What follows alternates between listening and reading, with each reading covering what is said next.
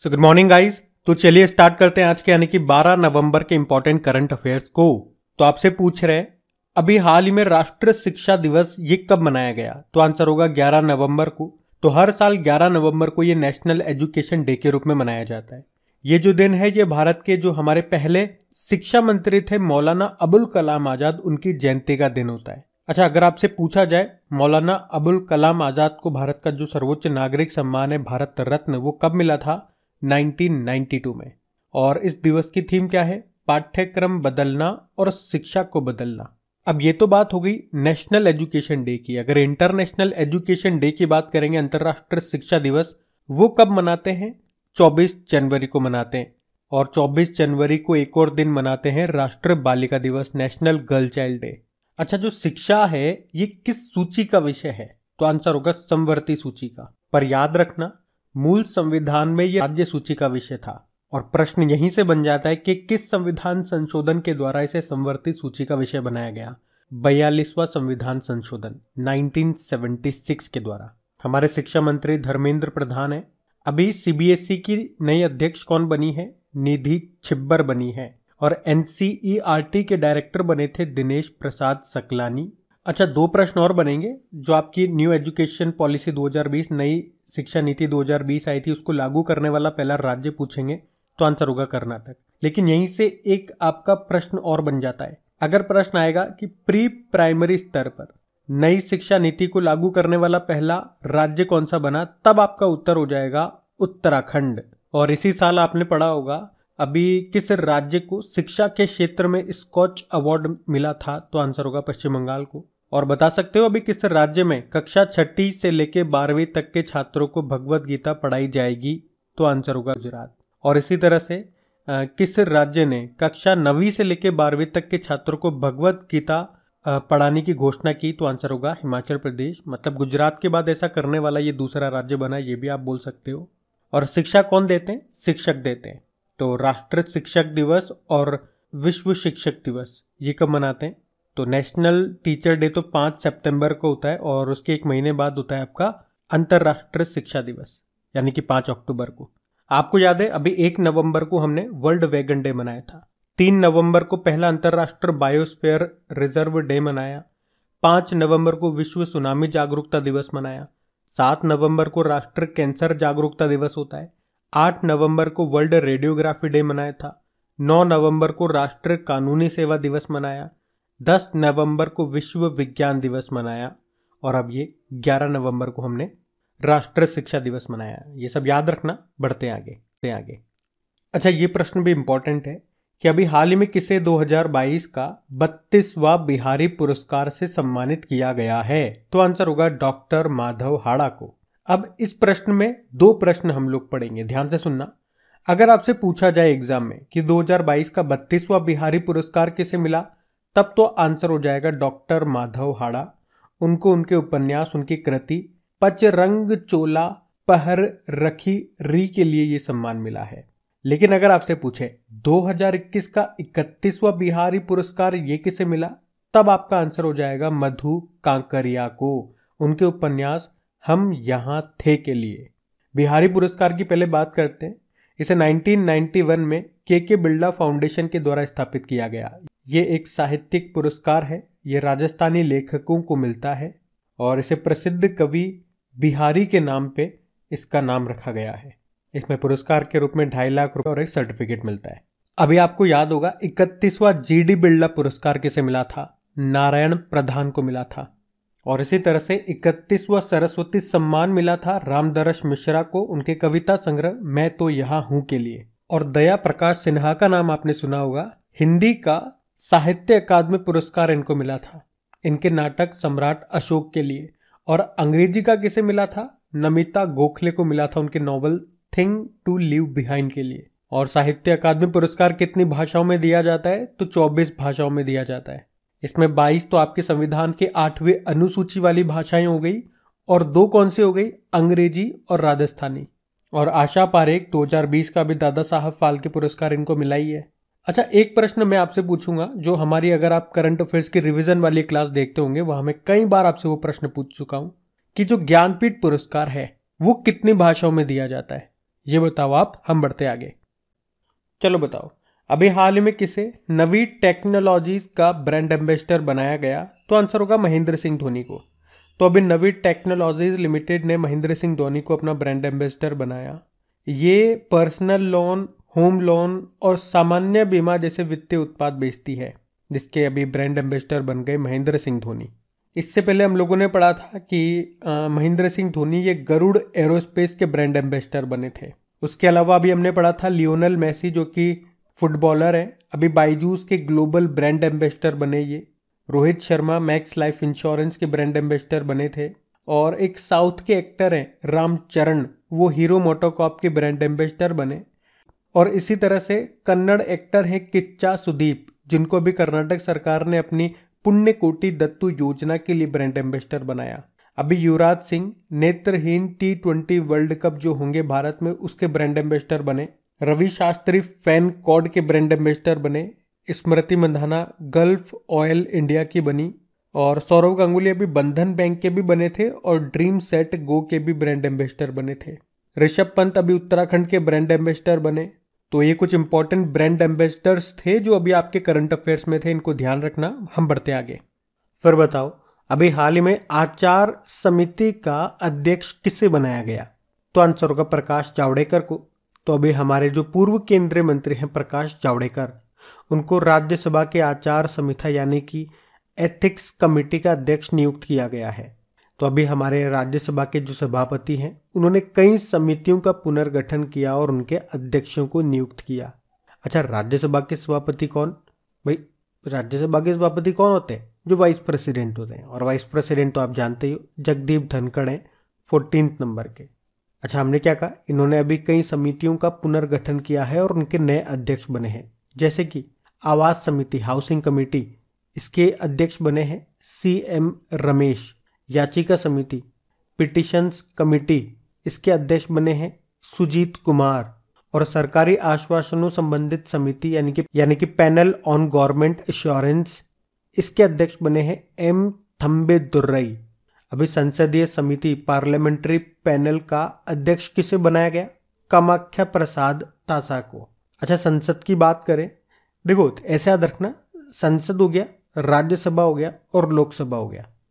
तो संसद का जो संबंध है या संसद का जो उल्लेख है वो भारतीय संविधान के अनुच्छेद 79 में है। राज्यसभा का उल्लेख अनुच्छेद 80 में है और लोकसभा का अनुच्छेद इक्यासी में है। 79, 80, 81 अच्छा एक बार एग्ज़ाम में प्रश्न पूछा गया था कि स्वतंत्र भारत की पहली निर्वाचित संसद ये कब से अस्तित्व में आई थी तो आंसर होगा 1952 क्योंकि भारत के संविधान के तहत प्रथम आम चुनाव सन 1951-52 में संपन्न हुए थे और प्रथम निर्वाचित संसद ये 1952 में अस्तित्व में आई थी। बाकी आप जानते हो, राज्य जानते हो, राज्यसभा ये भारतीय संसद का उच्च सदन होता है। राज्यसभा संसद का एक स्थायी सदन भी है, जो कभी भंग नहीं होता। यहाँ पे एक प्रश्न ऐसे भी पूछा जाता है कि राज्यसभा के सदस्यता के लिए न्यूनतम उम्र कितनी होनी चाहिए? तीस साल होनी चाहिए। और राज्यसभा के सदस्यों का कार्यकाल छह वर्ष के लिए होता है। और इसके वर्तमान में सदस्यों की बात करेंगे तो वैसे तो 245 है, लेकिन कितने हो सकते हैं? 250 सदस्य हो सकते हैं। जिसमें से 12 राष्ट्रपति मनोनीत करते हैं। अच्छा एक बार प्रश्न पूछा गया था एग्ज़ाम में कि राज्यसभा के पहले सभापति कौन थे? अब हमने देखा, राज्यसभा के सभापति कौन होते हैं? जो वाइस प्रेसिडेंट होते हैं। तो मतलब यहाँ पे आपसे पूछा क्या जा रहा है, हमारे पहले वाइस प्रेसिडेंट कौन थे? तो आंसर होगा डॉक्टर सर्वपल्ली राधाकृष्णन। अच्छा हमने कहा ना अभी कि राज्यसभा के सदस्यों का जो कार्यकाल है, छह साल का होता है। और इसमें से याद रखना, एक तिहाई, यानी कि वन बाई थ्री सदस्य हर दो साल के बाद रिटायर्ड हो जाते हैं। अब आपको एक प्रश्न बताता हूँ जो आपके एग्ज़ाम में पूछा गया था। ये डायरेक्ट प्रश्न उठ के आया प्रश्न उठ के आया था कि राज्यसभा की सदस्यता पाने के लिए न्यूनतम आयु कितनी होनी चाहिए? अभी हमने पढ़ा था, कितनी होनी चाहिए? तीस साल होनी चाहिए। एक प्रश्न एग्ज़ाम में यह आया था कि राज्यसभा के सदस्यों के कार्यकाल की अवधि कितनी होती है? तो कितनी होती? है छह साल। एक प्रश्न पूछा गया था एग्ज़ाम में कि राज्यसभा के सदस्यों की अधिकतम स्वीकार्य संख्या क्या है? हमने कहा, कितने हो सकते हैं? 250 हो सकते हैं। वर्तमान में तो 245 है, लेकिन पूछ रहे अधिकतम कितने हो सकते हैं? 250 और एक प्रश्न ये पूछा गया था कि राज्यसभा सदस्यों का चुनाव कितने समय के लिए किया जाता है? तो छः छः साल तक रहते हैं ये और हर दो दो साल के बाद एक तिहाई रिटायर्ड हो जाते हैं। तो वर्तमान में अगर बात करते हैं तो राज्यसभा के सभापति आपके आ, कौन है? जो हमारे वाइस प्रेसिडेंट है और कौन है वाइस प्रेसिडेंट? जगदीप धनखड़ है। फोर्टीन नंबर के वाइस प्रेसिडेंट है ये। और उप सभापति कौन है? हरिवंश नारायण सिंह है। और सदन के नेता पूछोगे तो पीयूष गोयल है। तो ये सारे इंपॉर्टेंट क्वेश्चंस मैंने आपको बताए हैं। जो एग्ज़ाम में पूछे गए, वो प्रश्न भी मैंने आपको कवर करा दिए इससे रिलेटेड तो ये ध्यान रखना, आप बढ़ते आगे। और प्लीज़ सेशन अच्छा लगे तो लाइक करके एक बार शेयर ज़रूर कर देना। बहुत मेहनत लगती है बनाने में। लेगा तो मुझे भी अच्छा लगेगा। और क्विज वगैरह तो बना करके अपलोड की जा रही है आपकी करिक एग्ज़ाम एप्लीकेशन में। वहाँ पे आप लगाते रहो क्विज स्टैटिक क्विज भी अपलोड हो रही है और जनरल साइंस की क्विज भी अपलोड हो रही है डेली तो उसे लगाते रहो अपनी प्रैक्टिस जारी रखो। अभी बढ़ते हैं आगे। फिर बताओ, अभी हाल में किसे? अखिल भारतीय रबड़ उद्योग संघ, यानी कि all India rubber industries association का नया अध्यक्ष चुना गया। किसे चुना गया? रमेश केजरीवाल को। तो अभी हाल में रमेश केजरीवाल को अखिल भारतीय रबड़ उद्योग संघ का नया अध्यक्ष चुना गया है। और इस तरह से वो किन की जगह लेंगे? डॉक्टर सावर धनानिया की जगह लेंगे। अच्छा रबड़ से दो प्रश्न मैं आपसे पूछता हूँ, आपके करंट अफेयर्स के प्रश्न है। चेक करते हैं आपका नॉलेज। पहला प्रश्न बताओ दुनिया का पहला अनुवांशिक रूप से संशोधित, यानी कि जेनेटिकली मॉडिफाइड रबड़ का पौधा कहाँ पे लगाया गया था? तो आंसर होगा असम में। और आप जानते हो ना, भारतीय रबड़ अनुसंधान संस्थान आपको मिलेगा केरल में। दूसरा प्रश्न सुनो। अभी बिहार के मुख्यमंत्री ने भारत का सबसे लंबा रबड़ डैम इसका उद्घाटन किया था। आपको बताना है किस नदी पे? तो आंसर होगा फल्गु नदी पे। और उस डैम का नाम है गयाजी डैम, जो कि 411 मीटर लंबा है। अभी अंतर्राष्ट्रीय रबड़ अध्ययन समूह के नए अध्यक्ष कौन बने थे? के एन राघवन बने थे, जिसका मुख्यालय सिंगापुर में है। अभी एशियाई हॉकी महासंघ के नए सीईओ बने कौन? तैयब इकराम। और राष्ट्रीय स्मारक प्राधिकरण के नए अध्यक्ष कौन बने? किशोर कुमार बसा। वैसे फिक्की के नए अध्यक्ष बने थे, उनका नाम है सुब्रकांत पांडा। तो ये पॉइंट्स भी याद रखना पड़ते आगे। चलो बताओ, अभी हाल ही में अरुणा मिलर, ये किस देश में लेफ्टिनेंट गवर्नर बनने वाली पहली भारतीय अमेरिकी बनी है? तो आंसर होगा अमेरिका। तो अभी अरुणा मिलर ने अमेरिका के मैरीलैंड राज्य में लेफ्टिनेंट गवर्नर का चुनाव जीत लिया और इस तरह से वह मैरीलैंड की लेफ्टिनेंट गवर्नर बनने वाली पहली भारतीय अमेरिकी महिला बन गई हैं। आपको बता दूँ, वहाँ पे लेफ्टिनेंट गवर्नर ये गवर्नर के बाद राज्य का सर्वोच्च अधिकारी होता है। और ये जो अरुणा मिलर है, ये कहाँ से है वैसे? इनका जन्म तो आंध्र प्रदेश में हुआ था भारत में। लेकिन जब ये सात साल की हुई तो इनके माँ बाप इनको अमेरिका लेके चले गए मतलब वहाँ पे बस गई है। अच्छा भारतीय मूल के कुछ और भी महत्वपूर्ण व्यक्ति हैं जो अच्छी अच्छी पोस्टों पर है विदेशों में। जैसे कि आप जानते हो, अमेरिका की बात चल रही है तो अमेरिका के वाइस प्रेसिडेंट भारतीय मूल की हैं, कमला हैरिस नाम है। अभी यूके में भारतीय मूल के पहले प्रधानमंत्री बने ऋषि सुनक, उनका नाम है। इसी तरह से मॉरिशस में प्रधानमंत्री ये है, प्रवीण जगन्नाथ। सेशल्स के प्रेसिडेंट हैं, वावल राम कलावन पुर्तगाल के प्रधानमंत्री बने एंटोनियो कोस्टा। सूरीनाम के प्रेसिडेंट बने चंद्रिका प्रसाद संतोखी। गुयाना के प्रेसिडेंट कौन? मोहम्मद इरफान अली। और सिंगापुर के प्रेसिडेंट कौन है? हलीमा याकूब। इसके अलावा विश्व की कुछ बड़ी बड़ी कंपनीज़ हैं, जहाँ पे भी भारतीय मूल के व्यक्तियों का राज है। जैसे कि माइक्रोसॉफ्ट के सीईओ सत्या नडेला गूगल के, या यूँ बोल दो अब तो अल्फ़ाबेट के सीईओ बन गए कौन? सुंदर पिचई। और एडोप के सीईओ कौन है? शांतनु नारायणन है। तो ये सारे इंपॉर्टेंट पॉइंट्स मैंने आपको बताए, इनको ध्यान रखना, बढ़ते आगे। चलो बताओ अभी हाल ही में मैंग्रोव अलायंस फॉर क्लाइमेट में कौन सा देश शामिल हुआ? तो आंसर होगा भारत आपको है कोप 27 का आयोजन, ये भी 2022 में कहाँ पे हुआ? मिश्र के शर्म अल शेख में। तो यहीं पे भारत मैंग्रोव अलायंस और क्लाइमेट में शामिल हो गया है। आपको बता दूँ, इससे पहले ऑस्ट्रेलिया, जापान, स्पेन और श्रीलंका भी इसमें शामिल हो चुके थे। तो ये है क्या? तो इसमें क्या होता है, जो भी सदस्य देश हैं, जो भी इसके सदस्य बने हैं, वो मिलकर के काम करते हैं। मैंग्रोव इकोलॉजी सिस्टम को कंजर्व करने का, उसे बचाने का ये काम करते हैं। मैंग्रोव क्या होता है? ये छोटे पेड़ और झाड़ियाँ हैं जो समुद्री तट के किनारे उगते हैं और खारे पानी में पनपते हैं और ज़मीन और समुद्र के किनारे पर अनोखे वन के रूप में विकसित होते हैं। आप जानते हो भारत में सबसे ज़्यादा मैंग्रोव फॉरेस्ट आपको किस राज्य में मिलेंगे? तो आंसर होगा पश्चिम बंगाल में। मैंग्रोव की बात करें तो ये दुनिया का सबसे अधिक उत्पादक इकोसिस्टम में से एक है। ये तटीय शरण को सुरक्षा देता है और कार्बन को अलग करता है। अच्छा इसके ऊपर एक डे भी होता है। मैंग्रोव पारिस्थितिकी तंत्र के संरक्षण के लिए अंतर्राष्ट्रीय दिवस, यानी कि वर्ल्ड मैंग्रोव डे ये हम मनाते हैं 26 जुलाई को। तो वे भी ध्यान रख लो, बढ़ते आगे। चलो बताओ, अभी हाल ही में किसने पुरुष एकल 2022 पेरिस मास्टर्स का खिताब जीत लिया है? तो आंसर होगा होलगर रूने ने। तो डेनमार्क के टेनिस प्लेयर हैं ये होलगर रूने। जिन्होंने 2022 पेरिस मास्टर्स खिताब को जीत लिया है और ये उनके करियर का पहला एटीपी थाउज़ेंड मास्टर्स टाइटल है। क्या नाम है? होलगर रूने। अच्छा देखो, बात टेनिस की है यहाँ पे। तो हम रिवाइज कर लेते हैं कि 2022 में जो चार ग्रैंड स्लैम होते हैं, वो किस किस ने जीते हैं? उसका मेन सिंगल टाइटल और वुमेन सिंगल टाइटल। तो साल का जो पहला ग्रैंड स्लैम है, उसे कहते हैं ऑस्ट्रेलियन ओपन। तो उसमें मेन सिंगल टाइटल जीता राफेल नडाल ने ये स्पेन के प्लेयर हैं। और वुमेन सिंगल टाइटल जीता एशले बार्टी ने। ये ऑस्ट्रेलिया की है, संन्यास ले लिया इन्होंने। उसके बाद हमने देखा फ्रेंच ओपन हुआ, जिसे रोलैंड गैरॉस भी कहते हैं। इसमें मेन सिंगल टाइटल जीता राफेल नड ने ही, ये स्पेन के हैं। और याद रखना इनको किंग ऑफ़ क्ले कोर्ट भी कहा जाता है। और वुमेन सिंगल टाइटल जीता ईगा स्वेटेक ने, जो पोलैंड के प्लेयर है। फिर हुआ था विम्बल्डन ओपन और इसका पुरुष एकल का खिताब जीता नोवाक जोकोविच ने, जो कि सर्बिया के हैं। और वुमेन सिंगल टाइटल किसने जीता? एलिना रिबाकिना ने, ये कजाकिस्तान से है। और फिर हमने देखा अभी यूएस ओपन हुआ था, जिसमें मेन सिंगल टाइटल जीता है कार्लोस राज ने, ये स्पेन के हैं। और वुमेन सिंगल टाइटल जीता है इगा स्वेटेक ने, ये पोलैंड से हैं। अब एग्जामिनर ज़्यादा से ज़्यादा वो ये पूछ सकता है कि कौन सा ग्रैंड स्लैम किस कोर्ट पे खेला जाता है? तो पहला और आखिरी, ऑस्ट्रेलियन ओपन और यूएस ओपन, ये हार्ड कोर्ट पे होता है। फ्रेंच ओपन आपका क्ले कोर्ट पे होता है और विम्बल्डन आपका ग्रास कोर्ट पे होता है। ये लो, ये भी क्लियर हो गया। ध्यान रखना ये, बढ़ते आगे। चलो बताओ, अभी हाल ही में बिम्स्टेक कृषि मंत्रियों की बैठक की मेजबानी किसने की है? तो आंसर होगा भारत ने। तो अभी 10 नवंबर को केंद्रीय कृषि मंत्री जो हमारे कौन है? नरेंद्र सिंह तोमर।